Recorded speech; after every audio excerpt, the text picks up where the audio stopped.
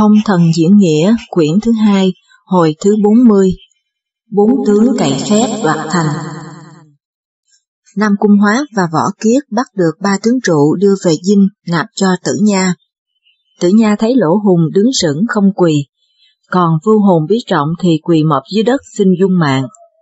Tử Nha nói với Lỗ Hùng, bậc anh hùng phải trong thời thế rõ được cơ trời, am tường máy tạo, nay nhà thương đã đến lúc suy vi, thiên hạ hai phần đã bỏ trụ theo châu, lão tướng không biết hay sao mà làm nghịch lại đến nỗi mang họa. Lỗ Hùng nói, ngươi trước kia cũng làm tôi cho nhà thương ăn lọc đại phu, nay phản phúc đến đây đầu châu nghịch trụ, thế thì người là kẻ thăm quyền cố vị, mưu sống cầu vinh, chứ đâu phải bậc hiệu lương quân tử. Ta không chối cãi tội ác trụ dương đã làm thiên hạ đảo quyền muôn dân đồ tháng, bằng cớ theo lẽ thì trung thần, nếu không can vua được thì chịu chết, chứ không theo phò người khác làm tôi. Ta tuổi đã già rồi, chết đi để tiến thơm muôn đời, thì có gì đáng tiếc. Tử Nha truyền quân giam giữ ba tướng lại một nơi, rồi cầm gươm lên đài làm phép. Tức thì mây tạnh, gió tan, nắng mùa hè trở lại như cũ.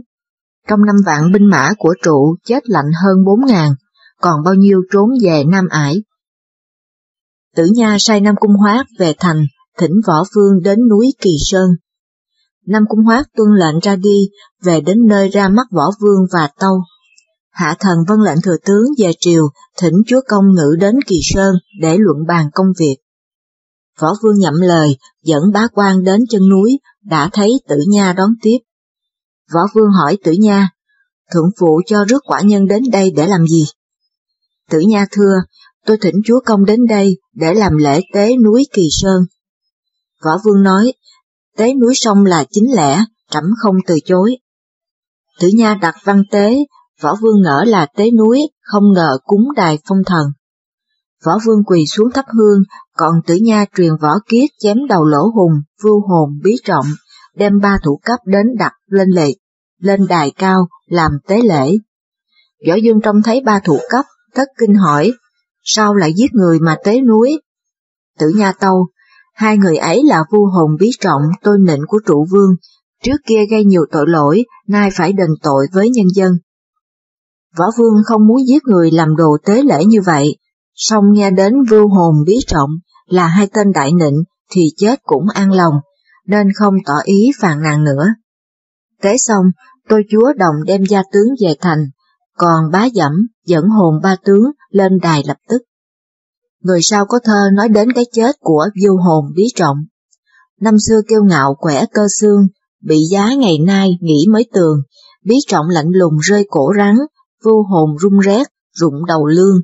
Kẻ gian tợ giữa cây gươm báo, gần giữ như vào, đẩy cá ương. Họ lỗ liên can thương hại bấy, kẻ trung người nịnh, họa đồ vương. Tàn binh của Lỗ Hùng sau khi thoát nạn tuyết lạnh, chạy trở về ải tụy thủy. Hàng Vinh biết được tin, bèn viết sớ dân về triều cáo cấp. Lúc ấy Văn Thái Sư đang ngồi xem tờ biểu của đặng cửu công gửi về, trong biểu nói việc Nam Bá Hầu ngạc thuận, đánh không lại kéo binh bại tẩu, thì mừng rỡ nhủ thầm, thế thì an được mối giặc ở phía Nam. Cái đó Văn Thái Sư xem đến tờ biểu của Hàng Vinh, nói việc Lỗ Hùng và Biết Trọng vu hồn đều tử chiến. Văn Thái Sư thất kinh than, không ngờ binh Tây Kỳ mạnh đến như vậy. Khương Thượng đã giết Trương Quế Phương, nay lại chém đầu Lỗ Hùng và vu hồn Bí Trọng nữa. Thế này ta phải thân chinh mới được.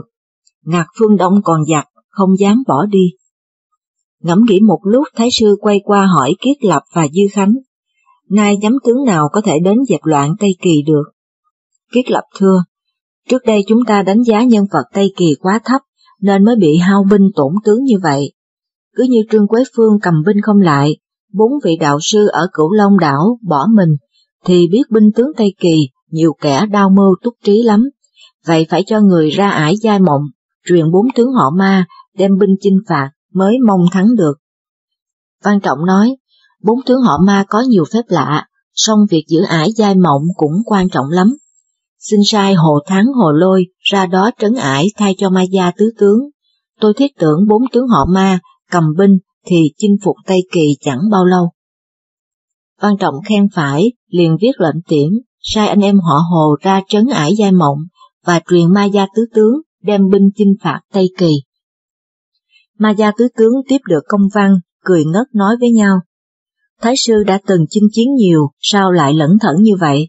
Bên Tây Kỳ chỉ có lão thầy bói Khương Thượng và đứa tôi loàn là Hoàng Phi Hổ mà thôi.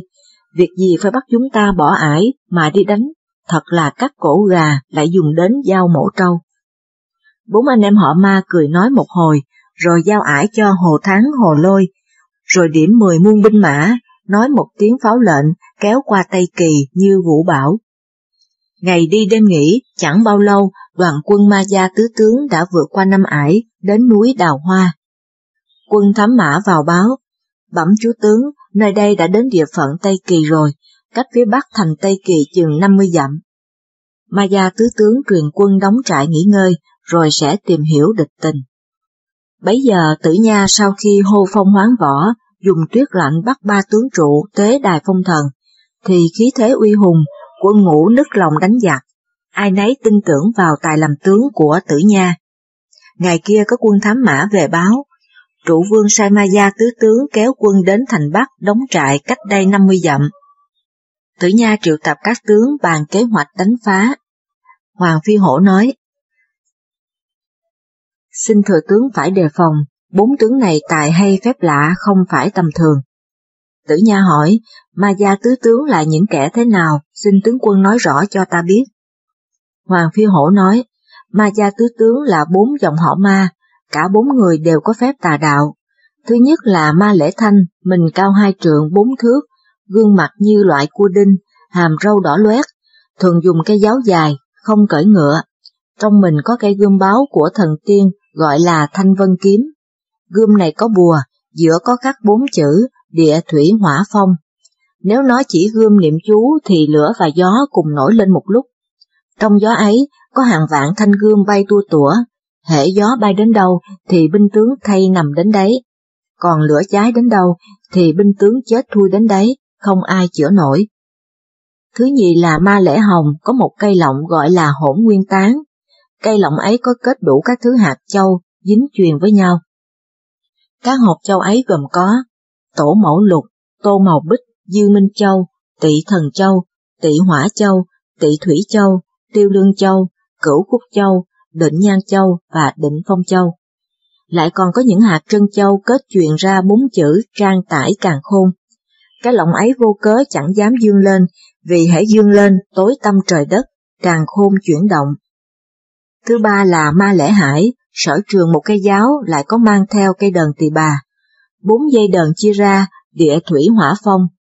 Khải lên ít tiếng thì gió, lửa nổi dậy như thanh vân kiếm. Thứ tư là ma lễ thọ có một con chuột trắng gọi là hoa hồ điêu. Hễ quăng nó lên cao thì nó lớn bằng của do trắng, hóa ra hai cánh bay theo ăn thịt tướng binh. Ma lễ thọ còn có tài đánh cặp roi hay lắm, bởi ma gia tứ tướng tài phép như vậy, nên tôi mới thưa với thừa tướng cẩn thận và đề phòng. Tử Nha hỏi, vì sao tướng quân biết rõ như vậy? Hoàng Phi Hổ nói, trước kia bốn tướng này là bộ hạ của tôi, giúp tôi đi đánh Đông Hải, lúc ra trận bốn tướng có dùng các phép ấy. Tử Nha nghe rõ ngồi làm thinh, vẻ mặt buồn bã vô cùng. Giữa lúc đó bốn anh em ma gia tướng, an cơ hạ trại, cho quân sĩ nghỉ ngơi xong, bàn với nhau. Nay chúng ta vân lệnh thiên tử sang đánh Tây Kỳ, đóng trại nơi đây đã ba ngày rồi, cũng nên tính việc động binh trừ quân phản loạn, để khỏi phụ lòng Thái sư tiến cử. Bốn anh em bàn bạc xong, quyết định ngày mai nhổ trại, kéo thẳng đến thành Tây Kỳ khiêu chiến. Đạo binh Ma Gia Tứ Tướng kéo đến nơi, An Dinh hạ trại xong, phất cờ phát pháo, đến cửa thành Tây Kỳ, gọi tử nha ra đối địch. Quân vào báo, Tử Nha lưỡng lự không dám ra binh. Kim Tra, Mộc Tra và Na Tra biết ý, đồng thưa. Sư thúc nghe Hoàng tướng quân kể tài ba anh em họ ma nên sợ thất trận không dám ra binh phải không? Chúng tôi thiết nghĩ khí số nhà trâu, nhà châu trị đời thì mọi việc đâu có trời đất gia chở hơi đâu mà sợ. Tử Nha ngẫm nghĩ một hồi, rồi truyền lệnh trương cờ ngũ sắc, cùng với các tướng kéo binh ra khỏi thành. Mà gia tứ tướng thấy tử nha dùng binh tề chỉnh, cởi con tứ bất tướng, cầm gươm thư hùng, đội mão đuôi cá, bèn lướt tới trước hỏi. Khương Thượng, ngươi không giữ bổn phận, đem giả bội quân, lại chứa phản tặc là Hoàng Phi Hổ. Các vị đại thần đến đây vấn tội, ngươi lại bêu đầu. Ấy là ngươi chẳng nể triều đình, không kiên phép nước. Nay binh trời đã tới, sao chẳng chịu bó mình? Hay ngươi muốn chống cự với chúng ta, khiến cho binh sĩ Tây Kỳ tiêu tan thành bột chăng? Tử Nha nói, quý vị nói sai rồi, chúng tôi là tôi nhà thương, sắc phong một cõi, hằng giữ phép nước, có làm phản bao giờ đâu. Chỉ vì ngục vua nghe lời các đại thần, đem quân đến đánh Tây Kỳ, chúng tôi phải bảo vệ đất đai giữ gìn cương thổ. Thật ra chúng tôi chưa hề xâm phạm đến năm ải của nhà thương, sao lại bảo là phản loạn? Mai Lễ Thanh nổi giận hét, ngươi dám lộng ngôn, đổ tội cho đại thần sanh chuyện, ngươi không biết cả thành Tây Kỳ sập đổ hay sao? Nói rồi cầm giáo lướt tới đâm tử nha. Nam Cung Hoác lướt tới đưa siêu đao ra đỡ và hét lớn, có ta đây, ngươi đừng vô lễ. Hai người hỗn chiến với nhau, Ma Lễ Hồng cầm kích xông tới, Tân Giáp giơ búa đánh liền. Ma Lễ Hải cầm giáo xốc vào, Na Tra ngăn lại giao chiến. Ma Lễ Thọ cách sách cặp giảng lướt lên, thế mạnh như hùm, liền thấy có tướng châu mặc giáp trắng, cưỡi người kim, cầm giáo dài đội mũ bạc, đón ma lễ thọ, giao thương. Ấy là võ kiết. Tám tướng đánh vùi với nhau một trận rất dữ, kẻ hết lòng phò minh chúa, kẻ hết sức giúp thành thang.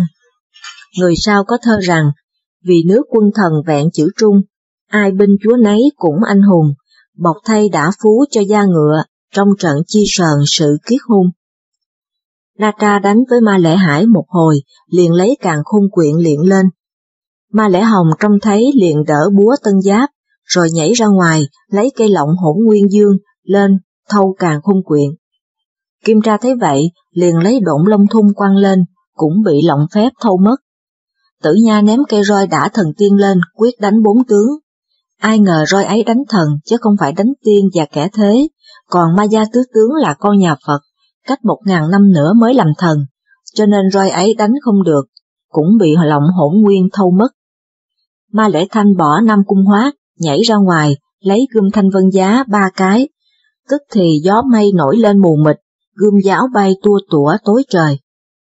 Có thơ rằng, trận gió gươm đao giữa chiến trường, tướng binh giáp mão nát như tương, huống chi xương thịt người phàm tục, giàu kẻ da đồng cũng bị thương.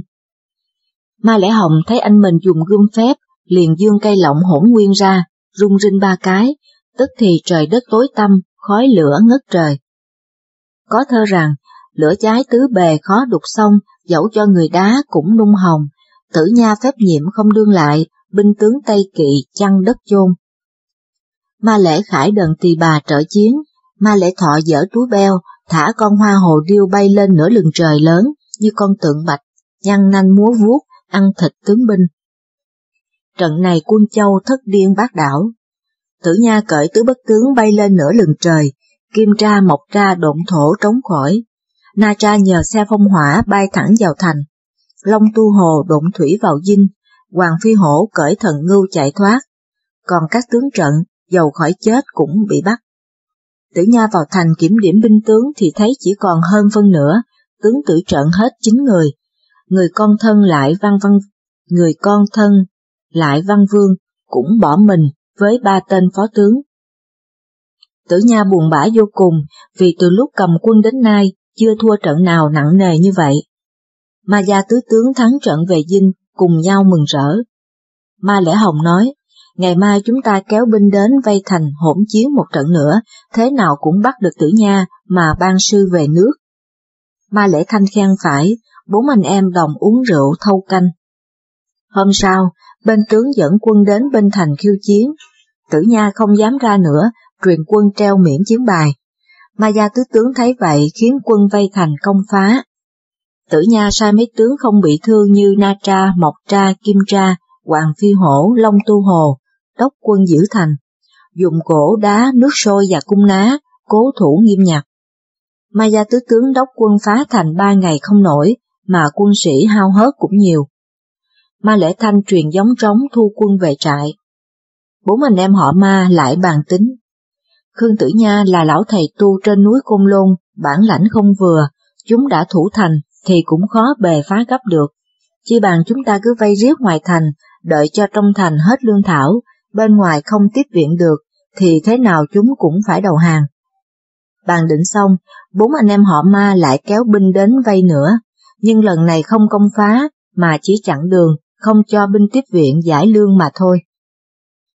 Bốn anh em họ ma vây thành Tây Kỳ ngày đêm không dứt, tính ra đã hai tháng có dư. Ma Lễ Thanh nóng lòng nói với ba em, Văn Thái Sư sai chúng ta đánh Tây Kỳ, nay đã gần ba tháng mà phá thành không nổi, binh lương hao tổn, như sau này Thái Sư khiển trách thì chúng ta còn thể diện gì nữa. Chi bằng tối nay anh em chúng ta dùng vũ bối quan vào thành, phá thành cho tan hoang, bắt tử nha đem về nạp cho sớm. Ba người em khen phải, đồng chuẩn bị kế hoạch, đợi đêm đến phá thành. Bên kia tử nha đang ngồi bàn luận, sải nghe gió thổi vùng vụt, cây cờ lệch, trước hướng, gãy đổ xuống đất. Thất kinh liền lấy tiền gieo quẻ, mặt biến sắc. Vội vàng đi tắm gội đốt hương làm phép đảo hải mà cứu binh châu. Tử Nha bỏ tóc xõa cầm gươm phép, vận nước biển bao thành Tây Kỳ. Bấy giờ Nguyên Thủy Thiên Tôn đang ngồi trong động, biết Tây Kỳ mắc họa, tuy Tử Nha đảo hải nhưng cũng cứu không nổi, liền lấy bình lưu ly có nước tam quan thần thủy rải xuống thành Tây Kỳ, nước ấy nổi trên mặt biển. Đêm ấy, ma lễ thanh quăng thanh vân kiếm, ma lễ hồng ném hỗn nguyên tán, ma lễ hải khải đần tỳ bà, ma lễ thọ quẳng con hoa hồ điêu. Tức thì mây kéo mịt mù, gió gào lửa táp, vũ trụ rung chuyển, hình như trời sập đất lông. Quân tướng trong thành đều vỡ mật. Bốn anh em họ ma chắc là thành Tây Kỳ đã tan nát thành tấm gạch vụn, định đến sáng ngày sẽ ban sư. Ai ngờ, nhọc sức hoài công không được việc, vang trời dậy đất có ra chi. Ma gia tứ tướng làm phép đến khuya mới thu bủ bối trở về trại.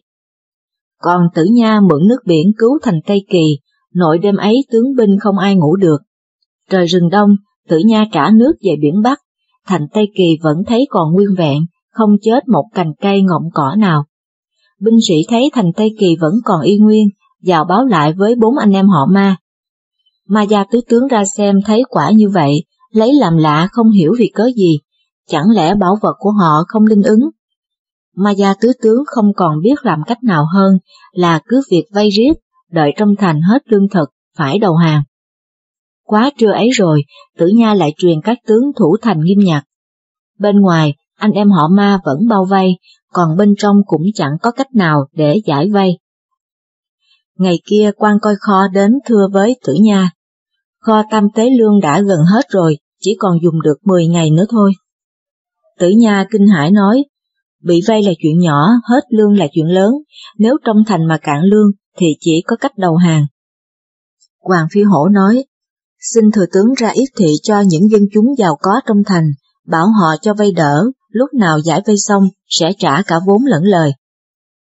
Tử Nha nói, không nên làm như vậy, ngoài thành quân địch đang vay, trong thành báo động hết lương, thế nào cũng sinh biến, liệu còn dùng được 10 ngày thì cứ thủng thỉnh sẽ liệu. Tám ngày nữa trôi qua mà tình trạng vẫn không thay đổi, bấy giờ lương thực chỉ còn có hai ngày nữa là hết. Tử Nha buồn rầu, nghĩ không ra kế. Trong lúc bối rối, bỗng có hai vị đạo đồng, một người mặc áo xanh, một người mặc áo đỏ, đồng đến trước cửa thành xin vào ra mắt Khương Tử Nha. Quân canh liền vào báo. Tử Nha nói, giặc đang vây bên ngoài, chớ nên tin, phải để ta coi lại cho rõ người nào đã. Liền bước ra cửa thành hỏi, hai vị ở núi nào động nào, có việc chi tìm đến. Hai đạo đồng thưa, chúng tôi là Hoàng Độc Long và Tiết Ác Hổ ở Động Ngọc Ốc, núi Kim Đình, học trò ông đạo hạnh thiên tôn, nay vân lệnh thầy đến vận lương cho sư thúc. Tử Nha nghe nói mừng rỡ rước vào thành và hỏi, lương thực hiện giờ ở đâu? Hoàng Độc Long thưa, chúng tôi có đem theo đây. Nói rồi lấy thư đưa ra. Tử Nha mở thư ra xem và nói, trước kia thầy ta có dặn, lúc nào ngặt nghèo sẽ có người này đến giúp, thật quả không sai. Liền truyền đạo đồng lấy lương ra, các tướng trông thấy nín cười, nhìn nhau bảo nhỏ, giúp lương thực cho cả thành mà đem đến một vốc gạo như vậy sao? Khương Tử Nha liền bảo Hoàng Độc Long đem gạo đến kho tam tế. Hoàng Độc Long tuân lệnh đem gạo đổ vào kho. Vừa được vài giờ sau, quân coi kho đến báo với tử nha, kho tâm tế gạo đã đầy nhóc. Tử nha mừng lắm, binh tướng đều vui mừng, không ai còn lo chết đói nữa. Có thơ rằng, võ vương nhân đức đất trời thương, xui khiến thần tiên đến giúp lương, thiên hóa ít ngày qua trợ chiến, một mình giết hết tứ thiên vương. Bây giờ tử nha lương nhiều tướng mạnh, quân sĩ no đủ, nhưng sợ tài phép bốn anh em họ ma, cứ thủ thành mãi không dám xuất trận. Còn ma gia tứ tướng vây thành gần giáp một năm mà hãm thành không được, liền viết sớ gửi về Thái sư Văn Trọng. Trong sớ nói, tử nha đánh cũng hay, thủ thành cũng giỏi, nên chúng tôi không thể hãm thành được. Ngày kia tử nha đang bàn luận việc binh, sải thấy quân canh vào báo. Có một ông đạo sĩ đến trước cửa thành xin ra mắt. Tử nha cho đòi vào, thì thấy đạo sĩ ấy, đầu đội mão phiến vân, mình mặc áo bá quái, chân đi giày cỏ, lưng buộc giải tỷ. Tử nha hỏi, đạo sĩ từ đâu đến? Đạo sĩ làm lễ ra mắt và thưa, đệ tử là học trò Ngọc Đảnh, chân nhân, họ Dương tên Tiễn, dân lệnh thầy dạy xuống hầu sư thúc, sai khiến. Tử Nha thấy Dương Tiễn dung mạo khác thường, lòng mừng thầm, gọi các tướng đến cho biết mặt. Các tướng cùng chào mừng, giới thiệu với nhau. Tử Nha lại dẫn Dương Tiễn đến ra mắt Võ Vương. Võ Vương nói, các khanh có lòng đến đây giúp quả nhân, ơn ấy quả nhân không dám quên. Nói rồi truyền mở tiệc đãi đằng. Sau bữa tiệc Dương Tiễn hỏi Tử Nha, chẳng hay binh nào vây ngoài thành mà sư thúc không chịu ra quân. Tử Nha thuật chuyện ma gia tứ tướng có phép lạ, không ai đánh lại, nên phải treo miễn chiến bài. Dương Tiễn nói, nay có đệ tử đến đây, xin sư thúc bỏ miễn chiến bài, để đệ tử ra đánh với ma gia tứ tướng một trận cho biết. Nếu cứ cố thủ thành mãi, làm sao tính được mưu kế? Tử Nha nhận lời, truyền Dương Tiễn ra quân. Quân thám thính thấy thành Tây Kỳ bỏ miễn chiến bài, vội chạy về dinh báo với ma gia tứ tướng, thành Tây Kỳ bỏ biển chiến bài rồi. Ma gia tứ tướng liền nai nịch chỉnh tề, đồn binh đến trước cửa thành khiêu chiến. Dương Tiễn cầm giáo xuất trận, tử nha khiến Na Tra theo trợ chiến. Vừa ra khỏi thành, Dương Thiển thấy bốn tướng, quại hùng vùng vụt xanh giông gió, hơi lửa phừng phừng ngút tận mây. Còn bốn tướng thấy Dương Tiễn cầm giáo bạc cởi ngựa kim, dung mạo không phải người tu, cũng không phải kẻ tục, thì lấy làm lạ. Ma Lễ Thanh hỏi, ngươi là ai đó? Dương Tiễn đáp, ta là sư điệt của Khương Thừa Tướng, họ Dương tên Tiễn. Các ngươi tài cán bao nhiêu mà dám hung hăng như vậy? Các ngươi thường dùng phép tà mà hại người, nay ta đã đến đây, e chúng bay không có đất mà chôn thay. Nói rồi cầm giáo đâm tới. Ma gia tứ tướng lâu ngày không ra trận nên tay chân đã ngứa ngáy, đồng ra hỗn chiến với Dương Tiễn một lượt. Giữa lúc đó có quan giải lương tại Sở Châu là Mã Thành Long vừa giải lương tới, cởi ngựa xích thố cầm siêu đao. Người này tánh nóng như lửa, thấy bốn tướng và Dương Tiễn choáng cả đường đi. Không ngỏ đem lương qua, liền trợn mắt nạt lớn. Cẩu tạc chớ hành hung, có ta đến đây. Vừa nói vừa dục ngựa xông vào tiếp tai với Dương Tiễn. Ma lễ thọ nổi giận đánh với Mã Thành Long mười hiệp, rồi quăng con hoa hồ điêu lên, hóa ra một con vật lớn như con voi trắng, miệng đỏ như chậu máu, nhe nanh bạc như gươm trường, cắn Mã Thành Long đứt nghiến lửa mình và nuốt vào bụng. Có bài thơ rằng, thú ấy lâu năm, hứng gió trăng, âm dương thọ khí đã thâm căng, biến ra lớn nhỏ tùy theo ý, nuôi sống ăn tươi cọp chẳng bằng. Dương Tiễn trông thấy nghĩ thầm, nó có nuôi vật giữ giết người, hèn chi tướng châu đánh không lại, ta sẽ làm cho nó biết tay. Còn bốn tướng họ ma không biết Dương Tiễn có thất thập nhị quyền công, nghĩa là 72 phép biến hóa, nên ma lễ thọ cũng để con hồ hoa điêu cắn nuốt Dương Tiễn như đã nuốt Mã Thành Long vậy. Na Tra trông thấy Dương Tiễn chung vào bụng con quái thú, thất kinh chạy vào thành, báo với tử nha. Sư thúc ơi, Dương Tiễn bị hoa hồ điêu cắn đứt nửa mình, nuốt vào bụng rồi. Tử nha sững sờ nói không ra tiếng, các tướng đều trợn mắt nhìn nhau, không ai nói nửa lời. Ma gia tứ tướng thắng trận kéo binh về dinh, mở tiệc mừng ăn uống cho đến hết canh hai, vẫn chưa ngủ. Ma lễ thọ nói, để tôi sai con qua hồ điêu bay vào thành Tây Kỳ cắn chết võ vương, nuốt sống tử nha, hai người ấy mà chết rồi thì chúng ta đánh một trận là ban sư về nước, Chẳng lẽ chúng ta ở đây vây nó cả đời sao? Ma lễ thanh khen, nếu con qua hồ điêu của em sai khiến được như vậy, thì bất tướng không cần phải xuất quân. Ma lễ thọ liền lấy túi da beo ra, bắt con hoa hồ điêu và dặn, bủ bối, nếu ngươi vào thành cắn chết võ vương và tử nha, thì được trọng thưởng. Nói rồi liễn qua hồ điêu lên không trung, con qua hồ điêu tuân lời, bay bút ra khỏi trận. Lúc này Dương Tiễn nằm trong bụng con hoa hồ điêu, vì Dương Tiễn có 72 phép biến hóa, nên hoa hồ điêu nuốt vào bụng vẫn không chết. Khi nghe ma lễ thọ dặn con quái thú như vậy, mừng rỡ nghĩ thầm, tặc tướng, đừng hòng bố bối của ngươi hành động như vậy. Nói rồi, đợi cho con hoa hồ điêu bay ra khỏi cửa trại, ở trong bụng hét lớn lên một tràng. Quái thú, mi biết ta là ai không? Nói rồi rứt đứt trái tim, con hoa hồ điêu ré lên một tràng, rồi nhào xuống đất chết tươi. Dương Tiễn hiện hình chui ra ngoài, xé qua hồ điêu đứt làm ba đoạn, rồi về đến cửa thành, thì đã canh ba. Bấy giờ tử nha còn thức, đang bàn luận với Na Tra, sẽ có quân vào báo, Dương Tiễn trở về thành kêu cửa. Tử nha kinh hãi nói, đã chết đi sao còn sống lại. Liền khiến Na Tra lên mặt thành xem thử thật hay giả. Na Tra vân lệnh đến trước cửa hỏi lớn, Dương Đạo Huynh đã bị con quái thú xé xác, sao còn sống lại mà về đây? Dương Tiễn nói, chúng ta đều là đệ tử của thần tiên, mỗi người hay mỗi phép. Thôi, mở cửa cho mau, đặng ta vào thưa với sư thúc những việc cần thiết. Na Tra không nghi ngờ, hối quân mở cửa. Dương Tiễn bước vào ra mắt tử nha. Tử nha trông thấy quả thật Dương Tiễn sửng sốt hỏi. Hồi sớm mai tướng quân đã bị tử trận, làm sao bây giờ sống lại được, hay là tướng quân có phép hồi sinh?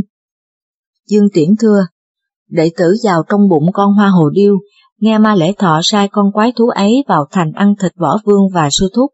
Đệ tử đã giết chết con chuột ấy rồi, nên về thưa lại. Tử Nha nói, nếu tướng quân có tài hóa như vậy, còn sợ gì phép lạ của chúng nó? Dương Tiễn thưa, bây giờ tôi tính trở qua dinh địch để tìm cách phá rối. Na Tra hỏi, Dương Đạo Huynh làm thế nào vào dinh nó được? Dương Tiễn đáp, thầy tôi dạy đủ thất thập nhị huyền công, biến hóa đủ 72 cách. Hãy nghe bài thơ này. 72 phép thuật biến quyền công, thầy dạy lâu năm, luyện đã xong, dầu nước, dầu non, dầu sắt đá, hoặc vàng hoặc bạc hoặc chì đồng. Khi cần biết tới loan cùng phụng, tẩu thú hiện ra cọp với rồng, thay chết nhiều lần nhưng chẳng chết, theo phò thánh chúa lập nhiều công. Tử Nha nghe Dư Tiễn khoa, khoe tài, liền nói, ngươi có phép hay như vậy, hãy biến một vài cách cho ta xem thử. Dương Tiễn rùng mình một cái, biến ra con hoa hồ điêu nhảy cùng dưới đất. Tử Nha mừng rõ cười lớn, thật là thần thông quảng đại. Dương Tiễn thưa, để tôi bay sang dinh nó phá phách một hồi cho vui. Tử Nha nói, không cần phá phách làm chi, ngươi tìm cách nào lấy được các phép màu của chúng đem về đây, thì chúng nó như gãy mất tay chân không làm gì được. Dương Tiễn vân lệnh, giả làm con hồ hoa điêu, bay tuốt qua dinh ma gia tứ tướng. Vừa đến nơi ma lễ thọ đưa tay bắt lấy, dở bụng con quái thú xem, thấy bụng không no, biết chưa ăn khương thượng, bèn bỏ vào túi da beo. Bấy giờ đã canh tư, bốn anh em họ ma đồng đi ngủ. Dương Tiễn thấy bốn tướng ngủ khì, liền ở trong túi nhảy ra, hiện hình người như cũ, lại quơ trúng cây lọng, đụng nhầm gươm thanh vân, rơi xuống đất kêu lẻn cản. Dương Tiễn sợ chúng hay, đớp cây lọng phép đi mất. Ma Lễ Hồng giật mình thức dậy đưa mắt nhìn quanh, không thấy có ai, chỉ thấy cây gươm rơi xuống đất, thì chắc lưỡi nói, đem gươm vô ý để rớt như vậy. Liền lấy gươm móc lên vách như cũ, rồi lật đật nằm xuống ngủ nữa. Dương Tiễn trở về dinh đem cây hỗn nguyên tán dân cho tử nha. Ba anh em Kim Tra đồng xúm lại xem lộng báo. Còn Dương Tiễn từ giả bay qua dinh thương, chung nằm vào túi da beo như cũ. Rạng ngày bốn anh em họ ma thức dậy. Ma lễ hồng không thấy cây lọng phép, thất kinh nói lớn. Lạ quá, cây hỗn nguyên tán đâu mất. Bốn anh em tìm kiếm một hồi, rồi hỏi quân tuần và lính gác cửa. Bọn quân canh thưa, bụi bay không lọt vào dinh, có gian tế nào vào đây mà lấy cho được. Ma lẽ hồng chắc lưỡi than, ta nhờ cây lọng này mà lập công dẹp giặc, nay mất đi biết tính làm sao. Bốn anh em thấy mất phép báo đều buồn bã, không bàn đến chuyện chinh chiến nữa. Đây nói về động tử dương núi Thanh Phong, ông Thanh Hư đạo nhân đang ngồi tu luyện, sải thấy lòng mình hồi hộp, biết Tây Kỳ có việc, và đã đến lúc đưa đệ tử xuống trần. Liền sai Kim Hà đồng tử gọi Hoàng Thiên Hóa đến dạy. Hoàng Thiên Hóa nghe đòi, vội bước vào làm lễ. Sư phụ cho đòi đệ tử có việc chi? Thanh Hư nói, ngươi ra sau vườn đào để ta truyền phép sai xuống Tây Kỳ, trước là đoàn tụ gia đình, sau phò vua giúp nước. Nói rồi dắt Hoàng Thiên Hóa ra vườn đào, trao cặp sông chùy cho Hoàng Thiên Hóa tập trận. Khi đã thuần thục, Thanh Hư nói với Hoàng Thiên Hóa, thầy cho con Ngọc Kỳ Lân mà cởi và đem hóa long phiêu xuống Tây Kỳ, con khá kính thành chớ quên cội rễ. Hoàng Thiên Hóa lại thầy giả bạn lên lưng Ngọc Kỳ Lân, đưa tay vỗ vào gạt một cái, tức thì bốn cẳng xanh mây, bay mau như gió. Bởi con kỳ lân này là của Thanh Hư cởi, dùng để dạo chơi ba núi năm non, nên nó bay đi mau lắm. Chỉ phút chốc, Hoàng Thiên Hóa đã đến Tây Kỳ xin vào thành. Quân vào báo, có một đạo đồng đang ngoại thành xin ra mắt thừa tướng. Tử Nha truyền lệnh mời vào. Hoàng Thiên Hóa quỳ lại thưa, tôi là Hoàng Thiên Hóa vân lệnh thầy xuống Tây Kỳ, hầu dưới trướng sư thúc để lập công. Tử Nha hỏi, ngươi ở động nào núi nào? Không đợi cho Hoàng Thiên Hóa trình bày, Hoàng Phi Hổ bước ra thưa. Hoàng Thiên Hóa là con trai lớn của tôi, đệ tử ông Thanh Hư Đạo Nhân ở núi Thanh Phong, động Tử Dương. Tử Nha mừng rỡ khen, tướng quân có con học đạo, ta có lòng mừng cho đấy. Cha con Hoàng Thiên Hóa gặp nhau, đồng vào vương phủ, mở tiệc vui vầy. Khi trước, Hoàng Thiên Hóa ở núi ăn chay, nay về thế gian lại ăn mặn.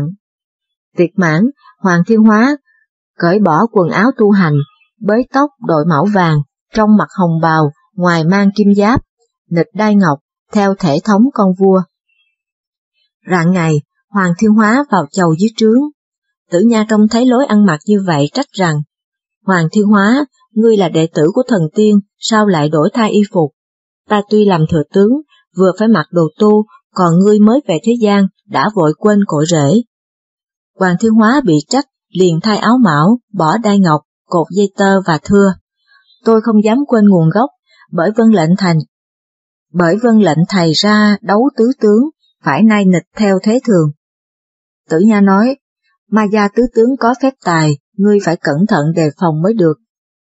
Hoàng Thiên Hóa thưa, thầy tôi đã dặn kỹ, xin sư thúc, chớ lo. Nói rồi cởi Ngọc Kỳ Lân ra ngoài thành khiêu chiến.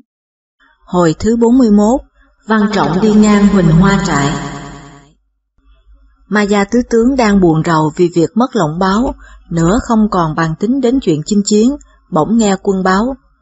Có tướng Châu đến khiêu chiến, bốn tướng nổi giận liền phát pháo khai dinh, dẫn quân ra trước trại. Đến nơi thấy một tướng nhỏ cởi ngọc kỳ lân, ma lễ thanh hỏi, thằng con nít tên họ là gì? Hoàng Thiên Hóa nói, ta là Hoàng Thiên Hóa, con trai lớn của Võ Thành Vương, vân lệnh Khương Thừa Tướng ra trận giết mấy người. Ma Lễ Thanh nghe nói nổi sung cầm giáo lướt tới đâm một nhát.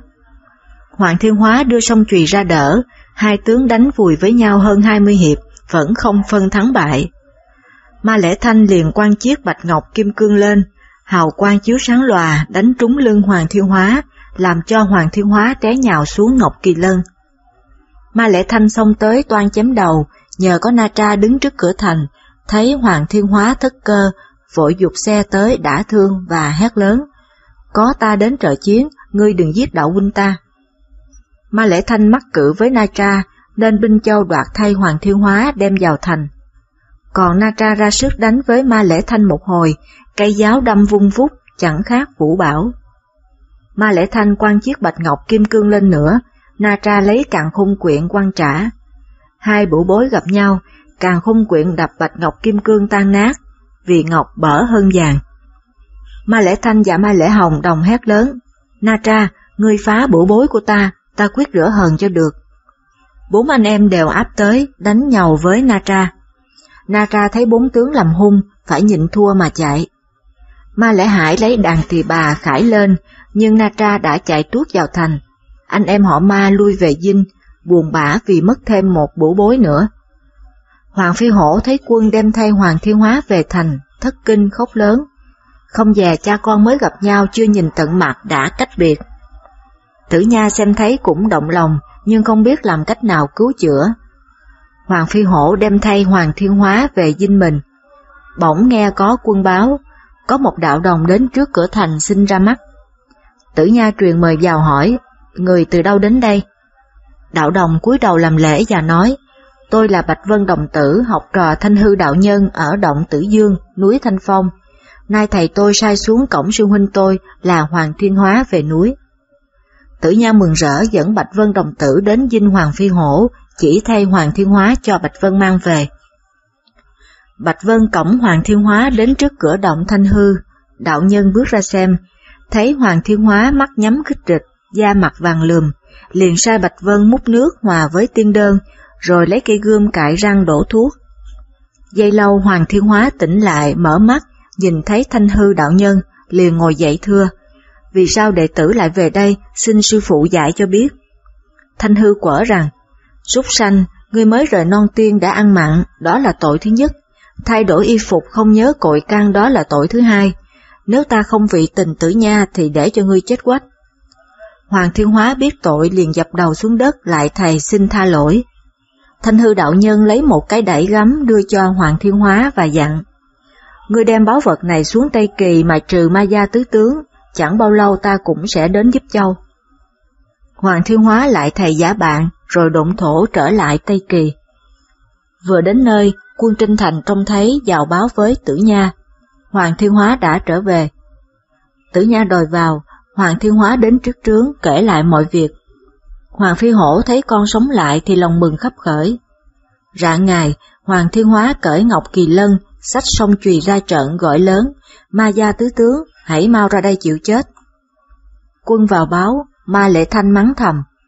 Thằng khốn kiếp đó hôm qua đã chết rồi, sao còn sống lại? Bốn tướng cùng kéo binh ra, thấy Hoàng Thiên Hóa mặt hầm hầm, tay cầm sông chùy lướt tới. Ma lễ thanh liền đâm một giáo, Hoàng Thiên Hóa đỡ ra, đánh lại. Hai tướng giao đấu được năm hiệp, Hoàng Thiên Hóa giả cách bại trận bỏ chạy. Ma lễ thanh thừa thắng đuổi theo. Hoàng Thiên Hóa mở túi gấm ra, thấy một cây đinh dài bảy tấc rưỡi, hiện hào quang chói sáng ngời. Hoàng Thiên Hóa dùng cây đinh ấy phóng lên, báo vật nhanh như chớp đâm thủng trái tim Ma Lễ Thanh trong nháy mắt. Ma Lễ Thanh rên lên một tiếng nhào xuống đất, tắt thở, máu phục ra đỏ ói. Ma Lễ Hồng thấy anh mình tử nạn, liền cầm kích rượt theo Hoàng Thiên Hóa. Hoàng Thiên Hóa thâu đinh thép lại, rồi phóng tới nữa. Ma Lễ Hồng tránh không kịp bị đinh đâm thủng đến sau lưng, Báo vật ấy cứ đâm ngay trúng tim, nên ma lễ hồng chỉ kịp la lên một tiếng rồi chết. Ma lễ hải thấy hai anh mình bị chết trong nháy mắt, liền nổi xung hét lên như sấm. Súc sanh, ngươi dùng vật gì mà sát hại hai anh ta như vậy? Nói rồi xong tới, Hoàng Thiên Hóa lại phóng đinh thép đâm thủng trái tim, ma lễ hải chết tươi. Chỉ còn có ma lễ thọ đứng một mình chơi vơi, giận căm gan, liền mở túi da heo. Thò tay, bắt hỏa hồ điêu thả ra để ăn thịt Hoàng Thiên Hóa. Chẳng ngờ mới thò tay vào miệng túi, bị Dương Tiễn cắn cho một cái, đau đớn thấu xương. Ma lễ thọ la lên, báo Phật, sao hôm nay ngươi phản ta như vậy? Nói rồi trút túi da beo ra. Dương Tiễn giả hình con hỏa hồ điêu nhảy ra và biến thành con voi trắng, nhưng không ăn thịt Hoàng Thiên Hóa mà lại chờn vờn nhảy tới, muốn cắn ma lễ thọ. Ma lễ thọ thất kinh bỏ chạy, bị Hoàng Thiên Hóa phóng đinh thần xuyên thủng trái tim, té nhào xuống đất. Thế là ma gia tứ tướng đã cùng chết một lượt trong một trận. Dẫu tài tinh tế không toàn mạng vì bản phong thần có đứng tên. Hoàng Thiên Hóa đánh chết bốn anh em họ ma xong, toan dùng đinh phép giết luôn con quái thú. Không ngờ con quái thú ấy lại hiện hình ra một đạo sĩ đứng trần ngần trước mặt. Hoàng Thiên Hóa thất kinh hải, la lớn, ngươi là ai vậy? Dương Tiễn đáp, Ta là Dương Tiễn, dân lệnh sư thúc ẩn mình trong túi da beo, làm nội công, nay thấy đạo huynh đã giết bốn tướng rồi nên hiện hình ra mặt. Giữa lúc đó có Na Tra đạp xe chạy tới, nói với Dương Tiễn và Hoàng Thiên Hóa. Hai anh thành công trận này, em rất sung sướng. Hoàng Thiên Hóa lấy bốn thủ cấp, rồi cả ba cùng nhau kéo về thành, ra mắt tử nha. Tử nha thấy Hoàng Thiên Hóa một mình phóng đinh thép giết luôn bốn tướng thì khen ngợi chẳng cùng, truyền bêu bốn thủ cấp trên mặt thành và tâu với võ vương hay. Chúa tôi mở tiệc đãi đằng, binh tướng vui vầy suốt ngày đêm không dứt. Bấy giờ bọn tàn binh của Ma Gia Tứ Tướng bỏ chạy về ải Tụy Thủy, báo tin cho Hàng Vinh hay, rồi kéo về ải Giai Mộng. Hàng Vinh được tin Ma Gia Tứ Tướng tử trận, thất kinh, dội làm sớ gửi về Triều Ca, báo tin khẩn cấp. Lúc bấy giờ Thái sư Văn Trọng vừa xem biểu chương của hai ải Du Hồn và Tam Sơn. Nơi Du Hồn, Đậu Dung đánh đuổi được Đông Bá Hậu bại tẩu, còn nơi Tam Sơn, Đặng Cửu Công nhờ có con gọi là Đặng Thiều Ngọc, đuổi Nam Bá Hầu lui binh. Tin mừng ấy chưa được bao lâu thì đã có sớ của Hàng Vinh gửi về. Văn Thái Sư xem sớ, thấy bốn anh em ma gia tử trận, nổi giận vỗ án hét. Không về tử nha hung hăng như vậy, dám giết cả ma gia tứ tướng bêu đầu trước ải, thật là một hành động khiêu khích. Giận quá Văn Thái Sư trận con mắt giữa, hào quang chiếu sáng lòa hơn hai thước.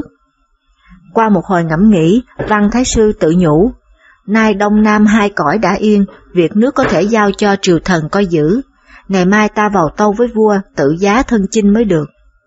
Nghĩ rồi viết sớ, đợi rạng ngày vào dân. Hôm sau Văn Thái Sư vào chầu rất sớm, quỳ trước Kim Loan, dân biểu xuất sư. Chủ vương xem biểu phán, Thái Sư việc trẫm mà lo việc đánh Tây Kỳ, trẫm cấp búa việc vàng, cờ mau trắng để Thái Sư thay mặt trẫm định liệu mọi việc. Văn Thái Sư tạ ơn, rồi chọn ngày tốt làm lễ xuất quân. Trụ vương dọn tiệc, hội các quan đưa đón. Trụ vương rót một chén rượu đầy ban cho Văn Thái Sư. Văn Thái Sư bưng chén rượu tâu. Tôi đi chuyến này mong dẹp yên bờ cõi xây dựng non sông, xin bệ hạ ở nhà nghe theo lời quan gián nghị, đừng để vua tôi cách mặt, trên dưới xa nhau. Lâu lắm là nửa năm, mau lắm là ba tháng, cũng trở về chầu bệ hạ. Trụ vương nói, Thái sư đã thân chinh dẹp loạn, thì thế nào cũng thắng trận ban sư, lòng trẫm không còn lo lắng gì nữa, trẫm chỉ chờ Thái sư trở về, vua tôi chung hưởng Thái Bình. Văn Thái sư uống rượu rồi lên hắc kỳ lân, bỗng con thú nhảy chồm tới la lên một tràng, làm cho Văn Thái sư té nhào xuống đất. Tả hữu vội vàng đỡ dậy, Văn Thái sư vội sửa y mão chỉnh tề. Khi ấy có quan hạ đại phu là Văn Tiếp tâu rằng, Thái sư vừa xuất quân mà té như vậy đã là điềm chẳng lành, xin bệ hạ sai tướng khác. Văn Thái sư nói, quan đại phu nói sai rồi, làm tôi phò chúa thì không phải làm tướng ra trận thì không kể mạng. Lẽ thường một tướng cầm quân không chết cũng bị thương, đó là để đương nhiên, có ai mà sợ. Ta xem con thú này lâu nay không ra trận, ở không lâu cũng yếu đi, nên khó cởi một chút, xin quan đại phu đừng bàn nữa. Dứt lời văn trọng nhảy lên lưng hắc kỳ lân đi ngay. Từ đấy vua tôi không gặp mặt, sắp sao hồn phách đã lên trời. Văn Thái Sư một điểm lòng son ba năm chinh phạt, trên vì chúa dưới thương dân. Thật là, những tưởng lòng trung phò nghiệp chúa, nào hay mái tạo giết nhà thương. Văn Thái Sư kéo ba vạn binh ra khỏi Triều Ca đến sông Quỳnh Hà, rồi đến huyện Dẫn Trì. quan tổng binh huyện ấy là Trương Khê ra thành nghênh tiếp. Trương Khuê làm lễ ra mắt xong, Văn Thái Sư hỏi, đường qua Tây Kỳ ngõ nào gần hơn? Trương Khuê thưa, đi qua ngũ quan thì xa, nếu đi tắt qua ải Thanh Long chỉ gần hơn 200 dặm. Văn Thái Sư bèn truyền binh tướng đi qua ải Thanh Long. Quân sĩ tuân lệnh kéo cờ giống trống in ỏi. Người sao có thơ như vậy, mù mịt bụi hồng, lỏng khói xanh, ào ào cờ đỏ chiếu rêu xanh, vì tham đường tắt vài trăm dặm, lên suối trèo non chịu nhọc nhằn. Khi đại binh qua khỏi Thanh Long rồi, đường xá gặp gền rất hiểm trở, cứ đi một bước lại phát chồn chân, đôi khi đi một bước lại trật chân thành ba bốn bước, có lúc đồn lại thành đống, có lúc phải chạy cả đoàn. Văn Thái Sư thấy đường đi khổ cực bằng hai, hối hận vô cùng. Văn Thái Sư nói với chúng tướng, nếu biết đường tắt nguy hiểm như vậy, thà đi qua ngũ quan còn nhanh hơn. Ngày kia đại binh Thái Sư đến núi Huỳnh Hoa, đường xá đi càng chật hẹp khó đi hơn nữa, non núi chập trùng, dãy này tiếp giáp với dãy khác liên miên, tưởng không bao giờ dứt. Văn Thái Sư truyền quân đóng trại nghỉ ngơi, rồi cởi hắc kỳ lân bay lên không, dò lần phía trước xem có gì nguy hiểm chăng. Văn Trọng đi một hồi đến một khoảng đất bằng phẳng, cây cối xinh tươi, có suối, có hoa, có hang, có động. Cảnh thiên nhiên trông đẹp mắt lạ lùng. Văn Trọng ngắm nghía một hồi rồi nghĩ thầm, hòn núi này xinh đẹp quá, ước gì việc nước thanh bình, ta ở nơi đây hưởng thú thanh nhàn. Văn Trọng nhìn xa hơn nữa, cách chân núi một dặm đường, thấy tre xanh dợn dợn, ngô đồng cao mịt, rồi tiếng thanh la nổi lên in ỏi, có một đoàn người khá đông kéo đến một vùng đất trống lập trận. Tướng đi đầu là một người tóc đỏ hung hung, da mặt xanh lét, hình dạng như quỷ sứ, cởi ngựa ô cầm búa đồng, mặt hồng bào, mang kim giáp. Thấy lạ, Văn Trọng vỗ kỳ lân lướt đến gần. Bọn lâu la đang tập trận, chợt thấy một ông già có ba con mắt, mặc áo đỏ, cầm roi vàng, cởi con kỳ lân đen, liền chạy vào báo với chủ trại. Có một ông già đứng trên núi cao đang lén xem đại vương lập trận. Viên chủ trại nhìn lên trông thấy nổi giận, truyền dẹp trận đồ, cởi ngựa bôn ba lên núi. Văn Thái Sư thấy tướng ấy mạnh bạo đáng mặt anh hùng, khen thầm. Phải chi ta thâu đặng tướng này đi đánh Tây Kỳ thì tốt lắm. Tướng ấy vừa đến nơi đã hét lớn hỏi, ngươi là ai mà dám đến đây thám thính núi ta? Văn Thái Sư nói trớ rằng, bần đạo thấy núi này tốt lắm, muốn tìm một cái động an thân để tụng kinh huỳnh đình, chẳng biết tướng quân chịu hay không. Tướng ấy nổi giận mắng, yêu đạo dám cả gan đến đây đùa cợt. Nói rồi chém xuống một búa. Văn Thái Sư đưa roi, đưa roi vàng ra đỡ, hai người đánh nhau trên núi cao. Văn Thái Sư là tay đã từng chinh chiến nhiều năm, gặp biết bao nhiêu anh hùng hào kiệt, mặc dầu tướng ấy hung hăng, Văn Thái Sư không hề nao núng, chỉ muốn thâu làm bộ hạ để giúp đỡ mình mà đánh Tây Kỳ. Đánh được vài mươi hiệp, Văn Thái Sư trá bại chạy qua hướng đông, người ấy đuổi theo làm giữ. Văn Thái Sư nghe lạc ngựa sau lưng đã gần, liền chỉ ngọn roi xuống đất, hóa ra một cái thành vàng. Ấy là phép độn kim, nhốt viên chúa trại trong thành ấy. Văn Trọng trở lại chỗ cũ, xuống yên kỳ lân, ngồi giữa cội tòng. Đoàn lâu la trở về báo với hai viên chủ trại khác rằng, có một ông đạo sĩ mặc đại hồng bào, dụ đại thiên tuế vào trận gì bằng vàng không biết. Hai tướng hỏi lâu la, đạo sĩ ấy bây giờ ở đâu? Lâu la thưa, còn đang ngồi trên bàn thạch hóng mát trên cội tòng. Hai tướng nghe nói nổi giận, cầm khí giới lên ngựa, dẫn lâu la kéo đến chân núi. Văn Thái Sư xem thấy lập tức lên lưng hắc kỳ lân. Hai tướng vừa lên đến nơi, thấy vị đạo sĩ có ba con mắt, thất kinh hét lớn. Yêu đạo ở chốn nào dám đến đây làm dữ giấu anh ta ở đâu, hãy mau trả lại thì đặng toàn thân. Văn Thái Sư nói dối rằng, hồi nãy người mặt xanh xúc phạm ta đánh một roi đã chết rồi, nay hai ngươi đến đây làm gì nữa? Ta không có ý gì hết, chỉ muốn ở núi này tu luyện mà thôi, hai người có bằng lòng hay không thì nói. Hai tướng nổi giận, kẻ thương người giảng, chém đùa. Văn Thái Sư múa cặp roi vàng đỡ vẹt ra, đánh vài hiệp, bèn dục kỳ lân bại tẩu qua phía nam. Hai tướng đuổi theo, Văn Thái Sư chỉ một roi, hóa thủy độn, một tướng, rồi chỉ một roi nữa, hóa mộc độn, một tướng. Đoạn trở ra cội tòng, ngồi hóng mát như cũ, Lâu la chạy trở về báo với viên chủ trại thứ nhì rằng, nhị thiên tuế ơi chúng ta mắc quả lớn rồi. Viên chủ trại này là Tân Hoàng nghe báo tin liền hỏi, chuyện gì mà mang quả? Lâu la thưa, ba vị thiên tuế ở trại thứ nhất bị một đạo sĩ già đánh chết hết rồi. Tân Hoàng la lên một tiếng và nói, yêu đạo ở đâu mà dám lộng hành? Liền một tay sách dùi, một tay sách lưỡi tầm xét, quạt hai cánh như chim bay, ầm ầm như sấm. Đến chót núi Tân Hoàng thấy Văn Trọng đang ngồi, liền hát lớn, yêu đạo, ngươi giết mất ba người anh em ta, ta quyết không để cho ngươi toàn mạng. Văn Thái Sư mở con mắt giữa, thấy một tướng như thiên lôi. Trên đội mão đầu tròn, mình mang áo chiến bào, môi đỏ như trái táo, miệng nhọn tợ cây đao, sắc lẻm bốn nanh bạc, sáng ngời cặp mắt xa, cánh bay như phụng múa, tầm xét búa dơ cao. Văn Thái Sư xem thấy khen thầm, anh hùng hào kiệt thường là kẻ dị hình dị tướng, nếu thâu đặng người này làm bộ hạ tay chân thì rất được việc. Tân Hoàng đáp xuống đánh Thái Sư một dùi, Thái Sư đưa roi ra đỡ và hỗn trận một lúc. Thấy Tân Hoàng múa dùi và tầm xét thật lợi hại, Văn Thái Sư liền giả cách bại tẩu qua phía đông. Tân Hoàng hét lớn, yêu đạo mi chạy đi đâu cho khỏi. Nói rồi vỗ cánh đuổi theo. Văn Thái Sư nghĩ thầm, nếu dùng phép độn ngũ hành thì bắt người này không được, bởi người này không ở dưới đất bay lượn như chim.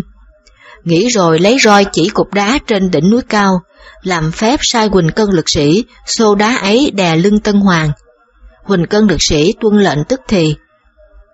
Tân Hoàng không ngờ Văn Thái Sư có phép tiên, sai khiến quỷ thần như vậy, nên thờ ơ, bị hòn đá đè chặt cứng. Văn Thái Sư quay kỳ lân lại, dơ roi muốn đập đầu. Tân Hoàng sợ chết kêu lớn, đệ tử không biết nên phạm đến quay trời, xin thầy tự bi rộng lượng, tôi mang ơn như trời biển. Văn Thái Sư để roi trên đầu Tân Hoàng và nói, Ngươi không rõ chớ ta là Văn Thái Sư ở tại Triều Ca, vân lệnh đi dẹp Tây Kỳ, vừa tới núi này gặp người mặt xanh vô lễ. Thật ra ta không muốn sanh sự, nay ngươi muốn sống hay muốn chết thì nói. Tân Hoàng thưa, chúng tôi không ngờ thấy lão gia đi qua đây, nếu biết chúng tôi đã nghênh tiếp. Văn Thái Sư nói, nếu ngươi thuận tình, theo ta đi đánh Tây Kỳ, thì ta tha ngươi khỏi chết, mà sau khi thắng trận về triều, ngươi còn được hưởng giàu sang phú quý nữa. Tân Hoàng thưa, Thái Sư đã có lòng thương, tôi xin theo hầu dưới trướng. Văn Thái Sư cầm roi chỉ vài cái, Quỳnh Cân lực sĩ tuân lệnh mở đá cho Tân Hoàng ra. Bấy giờ Tân Hoàng gần gãy xương, ngồi dậy không nổi, phải gần một giờ mới đứng được. Văn Thái Sư đỡ dậy, rồi ngồi trên bàn thạch, còn Tân Hoàng đứng hầu một bên. Văn Thái Sư hỏi, tại núi Huỳnh Hoa nhân mã được bao nhiêu? Tân Hoàng thưa, núi này chu vi 60 dặm, lâu la hơn một vạn, và lương thảo cũng nhiều. Văn Thái Sư nghe nói mừng rỡ vô cùng, vì binh lương rất cần thiết cho việc chinh Tây. Tân Hoàng khóc sụt sùi thưa, như Thái Sư ra ơn cứu sống được ba người anh em tôi lúc lấy, lúc lúc ấy, thì chúng tôi cùng theo làm bộ hạ để Thái Sư sai khiến. Văn Thái Sư nói, ngươi muốn tha chúng nó làm gì? Tân Hoàng thưa, tuy anh em chúng tôi khác họ mà tình thương đối với nhau như thể tay chân. Văn Thái Sư nói, theo lời ngươi nói thì các ngươi là những kẻ trọng nghĩa. Nói rồi liền vỗ tay một cái, nghe sấm dậy ầm ầm, dường như đất lở, núi lở lớn. Ba viên tướng trước đây bị độc mê man, nay nghe sấm giật mình tỉnh dậy, dụi con mắt nhìn lơ là. Người thứ nhất tên Đặng Trung, không còn thấy vách tường vàng nữa, lầm cồm ngồi dậy. Người thứ hai là Trương Tiết, không còn thấy biển cả nữa. Người thứ ba là Đào Vinh, không thấy đám rừng già, cảnh cũ trở về trước mắt. Cả ba mừng rỡ, dục ngựa về trại. Khi đi qua đỉnh núi, thấy Văn Trọng ngồi trên bàn thạch, Tân Hoàng đứng hậu một bên. Đặng Trung nói giận, hét lên một tiếng, bảo Trương Tiết và Đào Vinh, nhị đệ hãy bắt yêu đạo cho ta. Cả ba đội, cả ba người đồng dục ngựa lên núi một lượt. Hồi thứ 42, Thái sư thâu được bốn tướng thần. Thấy ba tướng giận dữ kéo nhau lên núi, Tân Hoàng liền bước xuống cản lại và nói, các anh đừng vô lễ, lão gia là Thái sư Văn Trọng ở Triều Thương, hiện đang cầm quân đánh Tây Kỳ, lẽ ra chúng ta phải tiếp đón Thái sư mới phải. Ba người nghe nói đều xuống ngựa, đến trước mặt Văn Trọng quỳ thưa. Chúng tôi nghe danh lão gia đã lâu, không nghênh tiếp mà còn xúc phạm, tội chúng tôi thật đáng chết, xin lão gia dung tình. Văn Thái sư nói, vì các ngươi không biết nên xúc phạm đến ta thì chẳng có tội chi, nay ta muốn các ngươi theo ta đi dẹp giặc Tây Kỳ, để sau này được vinh hiển. Cả bốn anh em đồng quỳ lại tuân lời, và thỉnh Văn Thái Sư về trại để đãi trà nước. Văn Thái Sư theo bốn người đến nơi, thấy dinh trại cất hai dãy, lâu la đông nghẹt, lương thảo đầy kho. Văn Thái Sư nói, nay các ngươi đã bằng lòng theo ta, thì phải hỏi bọn lâu la, đứa nào muốn theo thì theo, đứa nào không muốn theo thì chia của đã tích trữ bấy lâu nay cho chúng nó về xứ. Tân Hoàng tuân lệnh, truyền lại với Lâu La. Đứa thì muốn theo, đứa lại không muốn. Tân Hoàng chia của, mỗi đứa lãnh một phần, chúng mừng rỡ không cùng. Tính lại số Lâu La chịu theo hơn 7.000 người, lương thảo được 3 vạn. Sắp đặt xong, bốn anh em đồng ra lệnh đốt trại, nhập vào đội quân triều đình, kéo một lượt qua khỏi núi Huỳnh Hoa. Người sau có thơ rằng, rực rỡ cờ hồng như ngọn lửa, rủi đông ngựa chiến tợ bào hao, Tây kỳ hào kiệt đường mây nhóm, văn trọng binh gia tợ sống sao. Văn Thái Sư đang kéo binh đi, nhìn thấy trước mặt có một tấm bia khắc ba chữ là tuyệt long lãnh, thì dừng kỳ lân cả buổi, buồn bực làm thinh. Đặng Trung thấy vậy hỏi, chẳng hay Thái Sư có việc chi nghĩ vậy mà vẽ người bơ phờ. Văn Thái Sư nói, thuở trước ta học đạo tại Cung Đức Du, lúc chân tại đã 50 tuổi. Thầy ta là bà Kim Đinh Thánh Mẫu sai xuống phò cơ nghiệp thành thang. Khi ra đi ta có hỏi một lời số mạng, thầy ta bảo là ta không nên gặp chữ tuyệt. Nay kéo binh đến đây, lại gặp chữ ấy nên lòng ta chẳng vui. Đặng Trung và ba tướng đồng thưa, Thái sư đa nghi quá, lẽ nào một chữ ấy mà định quả phước chung thân cho kẻ trưởng phu, giả lại người lành thì trời giúp. Thái sư tài cao đức trọng, lo gì không dẹp nổi Tây Kỳ. Tuy có lời khuyên giải nhưng văn thái sư vẫn chẳng nguôi ngoai. Các tướng thúc quân đi đến, quân sĩ lướt tới như mây gió, giáo gươm chôm chởm, tiếng chân người dội cả một góc trời. Ngày kia trong lúc đại binh đang tiến bước, có thám mã trở lại thưa, binh đã gần đến cửa nam thành Tây Kỳ rồi. Thái sư truyền quân đóng trại, tướng sĩ vào linh, tướng sĩ giàu linh phát pháo đồn binh. Bấy giờ bên Tây Kỳ quân thám thính được tin vội về báo với tử nha, văn thái sư dẫn 30 muôn binh đóng trại phía nam thành. Tử nha nói, trước kia ta có ở Triều Ca, song chưa biết mặt thái sư văn trọng, nay người đã kéo binh đến đây để ta xem thử thế nào cho biết. Nói rồi dẫn các tướng lên mặt thành. Tử Nha thấy binh Thái Sư nghiêm trang tề chỉnh, chắc miệng khen thầm. Văn Thái Sư nổi danh bốn biển thật xứng đáng, cứ như lối cầm binh thế này thì tiếng đồn quả không sai. Nói rồi xuống thành thương nghị.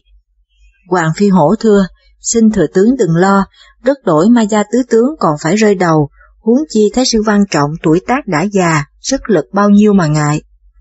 Tử gia nói, tuy vậy mặt lòng, song ta buồn vì quân dân Tây Kỳ phải nạn chiến tranh, rơi xương đổ máu, biết chừng nào cho được Thái Bình. Các tướng đang bàn luận có quân vào báo, Văn Thái Sư sai sứ đến hạ chiến thư. Tử Nha cho vào, quân giữ cửa tuân lệnh khai thành đón sứ. Tử Nha tiếp lấy chiến thư, trong thơ đại ý viết như sau. Thái sư nhà thương gồm chức chinh Tây Nguyên soái là Văn Trọng, gửi cho thừa tướng Tử Nha rõ. Nghe rằng hãy làm tôi phản chúa thì mang tội nghịch thiên. Nay chúa trị chính châu, qua giang bốn biển, mà Tây Kỳ làm loạn, cơ phát xương vương, lại chứa kẻ phản thần chẳng kiên quốc pháp. Vua sai binh vấn tội, ngươi nghịch lại thiên oai, dám bêu đầu đại thần, chẳng vị lòng thượng quốc. Dẫu bầm da xét thịt, tội ấy chưa đền, lấy nước phá thành cũng chưa xứng đáng. Nay ta vân chiếu chỉ đến phá thành trì, như ngươi thương xót mạng dân thì vua tôi hàng đầu thọ tội, còn không tính trước, đợi cháy núi lỡ non thì không chừa ngọc đá. Chiến thư đã tới, thương nghị cho mau. Tử Nha đọc chiến thơ xong hỏi sứ thần, đại tướng tên chi? Tướng ấy thưa, tôi là Đặng Trung. Tử Nha nói, Đặng tướng quân về thơ lại với Văn Thái Sư rằng ta kính lợi với Văn Thái Sư trong ba ngày sẽ ra trận. Đặng Trung từ giả ra khỏi thành về đến dinh thưa lại với Văn Trọng. Cách ba hôm sau, Văn Thái Sư phát pháo dẫn binh ra trước mặt thành. Giữa lúc đó trong thành Tây Kỳ cũng nổi lên một tràng pháo, tức thì cửa phía nam mở toạc, bốn cây cờ xanh ra trước, bốn tướng cởi ngựa theo sau, đứng sang hướng chấn. Có bài thơ rằng, bốn tướng cớ xanh áo mão xanh, hướng đông binh đóng chặt như thành. Cầm thương vác giáo, quay như cọp, một tướng điều binh thải rạng danh. Tiếng pháo thứ nhì nổ, bốn cây cờ đỏ ra trước, bốn vị tướng theo sau, kéo sang cung ly bố trận. Có bài thơ như vậy, cờ đỏ áo điều cởi ngựa kim, khác nào ngọn lửa cháy không trung, sơn son cung ná thương ngù thắm, bố trận phương Nam vững tở đồng. Tiếng pháo thứ ba nổ, bốn ngọn cờ trắng kéo ra, bốn viên tướng mặc bạch bào, bước tới án bên hướng cung đoài. Có bài thơ rằng, Bạch giáp ngân khôi cởi ngựa hồng, gươm trần tở tuyết rất oai nghiêm, hướng tay bố trận trong ghê gớm, cờ trắng phao phao tuyệt áo xiêm. Tiếng pháo thứ tư nổ, bốn ngọn cờ đen kéo tới, bốn vị tướng xông ra, dẫn binh trấn tại cung khảm. Có bài thơ rằng, ngựa ô tướng giữ phất cờ đen, tướng bắt bài binh thật đáng khen, như thế than hầm cùng khói tỏa, ngựa xe đông nghẹt chẳng nơi chen. Tiếng pháo thứ năm nổ, bốn cây cờ vàng phất phới dương ra, bốn tướng kim khôi kim giáp xuất trận, chiếm cứ trung ương. Có bài thơ rằng, Kim Khôi Kim Giáp kéo cờ vàng, lập trận trung ương thấy rõ ràng, sai khiến ngũ phương theo hiệu lệnh, tử nha bày bố rất nghiêm trang. Khi ấy Thái sư Văn Trọng thấy tử nha lập trận ngũ phương, nghiêm trang tề chỉnh, binh tướng có thứ lớp, trận đồ sắp đặt quay nghiêm. Na Tra cầm giáo đứng trên xe gần một bên, Dương Tiễn, Kim Tra, Mộc Tra, Hoàng Độc Long, Tiết Ác Hổ, Hoàng Thiên Hóa, Võ Kiết, vân vân đồng bảo hộ tử nha, cởi con tứ bất tướng, đứng giữa trận. Bên hữu lại có Hoàng Phi Hổ cởi con thần ngưu. Tử nha xem thấy Thái sư Văn Trọng mặt như vàng bạc, râu dài đậm đuột, gió thổi phất phới, tay cầm cặp kim tiên quai phong lẫm liệt, liền dục thú tới bái một bái và nói, kính mừng Thái sư, tôi làm lễ không trọn xin miễn chấp. Văn Thái sư hỏi, ta nghe Khương Thừa Tướng là danh sĩ núi Côn Lôn, sao không biết trọng lẽ phải? Tử Nha đáp, tôi là đệ tử cung Ngọc Hư, hàng trọng niềm đạo đức, lẽ đâu dám nghịch mạng trời. Tôi phò vua giúp nước trên tuân lời Chúa dưới phụng lòng dân, biết kính người hiền, không ưa kẻ nịnh, giữ gìn bờ cõi, trấn giữ thành trì, trăm họ yên vui, sao gọi là không biết phải. Văn Thái Sư nói, ngươi chỉ biết trao chuốt lời nói mà không biết lỗi mình, nhà ngươi tôn võ vương không có lệnh thiên tử, ấy là tội khi quân tím mị, chiếu phản thần là tội đại nghịch. Vua sai tướng hưng binh vấn tội, ngươi dám dám chém giết quân binh, ấy là tội phản. Nay ta đến đây, ngươi cũng không phục, lựa lời xảo trá chống cự với thiên triều, mà còn tưởng mình vô tội sao? Tử Nha cười nhạt nói, Thái sư nói sai rồi, tôi tôn võ vương chưa kịp tâu với thiên tử, song xét lại con thế chức cha là việc thường, nào có lỗi chi nay chư hầu trong thiên hạ đều phản lại nhà thương, ấy không phải lỗi tại chư hầu. Bởi thiên tử không kỹ can, nên kẻ có trí không muốn thờ một bảo chúa. Còn việc võ thành vương thi thì quân bất chánh, thần đầu ngoại quốc, ấy cũng là lẽ thường. Luận đến việc giết quân binh triều đình là tại đại thần đem binh đến phá phách bờ cõi, giết tướng công thành, nên tôi phải chống đỡ, chứ tôi chẳng hề đem một tên đính nào phạm đến ngũ quan, lại cũng chẳng giúp một chư hầu nào làm nghịch. Thái sư danh vang bốn biển, quay dậy tám phương, nay đem binh đến đây, e không khỏi mang tiếng vô cớ mà khinh địch, chứ tôi nào dám cự với Thái sư. Nếu Thái sư không cho lời tôi là dốt nát, xin Thái sư lui binh về phủ, ai giữ nước nấy, cho trăm họ Thái Bình. Bằng chẳng xét ý trời, thì việc binh thắng bại không lấy gì làm chắc, xin Thái Sư nghĩ lại. Văn Thái Sư nghe tử nha nói cứng, nổi giận phừng phừng, lại thấy Hoàng Phi Hổ đứng gần đó, liền nặc lớn. Nghịch thần Hoàng Phi Hổ, hãy đến ra mắt ta. Hoàng Phi Hổ không biết làm sao lẫn mặt, túng phải dục trâu tới bái một bái và thưa. Tôi cách mặt đã mấy năm nay, mai gặp được Thái Sư mà giải điều quan ức. Văn Thái Sư hét lớn, dòng họ Hoàng của ngươi giàu sang trong đại quốc, nay phụ vua phản chúa phò Tây Kỳ mà giết đại thần, tội đáng chết mười phần, còn tìm lời nói đỡ. Mắng rồi quay lại nói với các tướng, hãy ra tay bắt phản tặc cho mau. Đặng trung dục ngựa lướt tới vung búa chém võ thành vương, Hoàng Phi Hổ đưa gươm ra đỡ, Trương Tiết cầm gươm dục ngựa tới trợ lực với đặng trung, Nam Cung Hóa cản lại giao chiến. Đào Vinh Đức ngựa ra trước tiếp ứng, Võ Kiết cầm giáo đón lại giao phong, sáu tướng chia nhau thành ba cặp hỗn chiến, kẻ qua người lại, búa chém thương đâm, cát bụi đầy trời, binh reo dậy đất. Tân Hoàng thấy ba tướng mình khó thắng, liền quạt cánh bay lên cao, cầm dùi sắt đánh vào đầu Khương Tử Nha. Hoàng Thiên Hóa thấy vậy dục Ngọc Kỳ Lân bay theo, đưa sông trụy đánh tới Tân Hoàng. Các tướng châu thấy Tân Hoàng có cánh bay cao, đội mão đầu cọp, mặt đó bầm như trái táo, ai nấy đều kinh hãi, còn Văn Thái Sư thấy Hoàng Thiên Hóa cởi Ngọc Kỳ Lân cự với Tân Hoàng, biết là người có phép tiên, liền dục Hắc Kỳ Lân tới dơ roi đánh với Tử Nha. Tử Nha đưa gươm thư hùng ra đỡ, hai người cởi hai con thú, đánh với nhau nổi gió xanh mây. Văn Thái Sư quăng cây roi trống lên trời, bởi cặp roi ấy là rồng hóa ra nên sấm sét vang dậy, cây roi trống đánh nhầm vai Tử Nha, té nhào xuống đất. Văn Thái Sư xông tới toan lấy thủ cấp, chẳng ngờ có Na Tra dục xe đến dơ thương ra đỡ, và nói lớn, không được hại sư thúc ta. Nói rồi đâm một giáo, Văn Thái Sư đưa roi mái ra đỡ. Tân Giáp thừa dịp ấy cứu Tử Nha vào thành. Văn Thái Sư đánh với Na Tra được bốn năm hiệp, rồi cũng luyện roi trống lên, cây roi đánh trúng Na Tra nhào xuống đất. Kim Tra lướt tới vung gươm đánh với Thái Sư. Văn Thái Sư thâu roi lại cử chiến, Mộc Tra và Hoàng Độc Long đồng xông đến một lượt, trợ lực với Kim Tra. Văn Trọng nổi giận, quăng cả cặp roi lên, cặp roi bay lượn như chim, đánh cả ba người nhào xuống đất một lúc. Dương Tiễn thấy vậy cầm thương dục ngựa lướt vào. Văn Thái Sư thấy Dương Tiễn dung mạo khác thường, nghĩ thầm. Tây Kỳ có người lạ như vậy, không làm phản sao được. Liền thâu ra đánh được ít hiệp, rồi cũng liền roi lên trời. Cặp roi đánh nhằm đầu Dương Tiễn văng lửa, mà đầu Dương Tiễn vẫn trơ trơ. Văn Thái Sư kinh hãi than. Thật là thần tiên không phải người phàm tục. Còn Đào Vinh đánh với Võ Kiết, thấy các tướng cầm đồng, liền lấy tụ pho phong, vang, rung rung vài cái.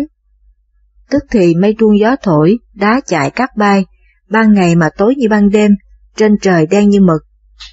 Quân châu thất kinh tìm đường mà chạy, luyện chiên bỏ trống ném giáo quăng cờ, không biết đông tây nam bắc, giày xéo nhau mà chết. Văn Thái Sư thắng trận thâu binh về trại, mở tiệc thưởng tướng thao quân, cầm chắc trong vài ngày nữa sẽ lấy được Tây Kỳ. Bên kia tử nha vào thành kiểm điểm binh mã, thấy hao hơn phân nửa, liền thở dài than. Mới đánh trận đầu mà đã bại, bổn tướng bị thương, bốn tướng bị thương, nay biết phải làm sao. Dương Tiễn thưa, xin thừa tướng tịnh dưỡng vài ngày rồi sẽ tính kế ra binh. Tôi chắc văn trọng đắc thắng thế nào cũng thờ ơ tự phụ. Tử Nha khen phải truyền binh tướng nghỉ ngơi, dưỡng sức hai ngày. Ngày thứ ba Tử Nha truyền phát pháo khai thành, kéo quân ra trận. Quân thám thính về báo với Văn Thái Sư, Văn Thái Sư dẫn bốn tướng dàn binh bố trận. Tử Nha lướt tới kêu Thái Sư Văn Trọng nói, tôi với Thái Sư bữa nay quyết phân cao thấp. Nói rồi rút sông kiếm đánh liền, Văn Thái Sư múa sông tiên cự địch. Na Tra và Dương Tiễn trợ chiến với Tử Nha, đặng trung xông vào, Hoàng Phi Hổ cản lại. Trương Kiết đào vinh được trận, bị Võ Kiết và Nam Cung Hóa cản ngăn. Tân Hoàng sách dùi bay lên, bị Hoàng Thiên Hóa đón lại. Năm cặp vừa sức hỗn chiến với nhau. Văn Thái Sư đánh một hồi, luyện cặp thư hùng lên. Tử Nha liền quan roi đã thần tiên cự lại. Cây roi mái của Văn Trọng cự không lại cây roi đã thần tiên, bị gãy làm đôi rơi xuống. Văn Thái Sư hét lớn, Khương Thượng, ngươi phá phép báu của ta, ta quyết với ngươi một còn một mất. Nhưng vừa dứt tiếng Văn Thái Sư đã bị roi đã thần tiên của tử nha đánh nhào xuống kỳ lân. Mai nhờ có kiết lập, Chiêu Khánh lướt tới đỡ thương, nên Văn Thái Sư mới độn thổ trở về được dinh. Tử Nha và các tướng châu thừa thắng đánh binh, đánh binh trụ tan, rồi cùng nhau trở về thành. Dương Tiễn thưa, đêm nay chúng ta đi cướp trại thế nào cũng thắng. Tử Nha khen phải truyền các tướng lui về chuẩn bị sẵn sàng, đợi đến canh hai sẽ xuất quân cướp trại. Bấy giờ Văn Thái Sư bị thui trận trở về ngồi trước trướng, buồn bã. Các tướng vào ra mắt, Văn Thái Sư nói, ta thường đánh Nam dẹp Bắc chưa hề đại bại, nay rồi phép bị tử nha đánh gãy. Ta nghĩ lại từ khi thầy ta truyền cặp giao long kim tiên cho đến nay, chưa bao giờ bị mất danh tiếng, nay bị gãy một cây, còn mặt mũi nào ra mắt thầy ta nữa. Bốn tướng thưa, việc binh thắng bại là lẽ thường, xin Thái sư đừng phiền, thủng thẳng mà tính kế. Còn bên thành Tây Kỳ, tử nha chuẩn bị sẵn sàng, vừa hết canh một các tướng đều đến trước trướng nghe dạy việc. Tử nha truyền, Hoàng Phi Hổ, Hoàng Phi Vưu, Hoàng Minh phá dinh bên tả, Nam Cung Hóa, Tân Miễn Tân Giáp phá dinh bên hữu, Na Tra Hoàng Thiên Hóa phá cửa trước, Kim Tra Mộc Tra Hoàng Độc Long, Tiết Ác Hổ, Long Tu Hồ với võ kiếp đồng theo bảo hộ mình. Dương Tiễn đi đốt lương thảo. Lão tướng Hoàng Cổn thủ thành, sắp đặt xong ai lo phận sự nấy. Bấy giờ Văn Thái Sư đang ngồi nhiệm kế, nhìn thấy hơi dữ ve vãn trước mặt, lòng sanh nghi, lấy tiền giao quẻ, biết đêm nay quân giặc đến cướp dinh.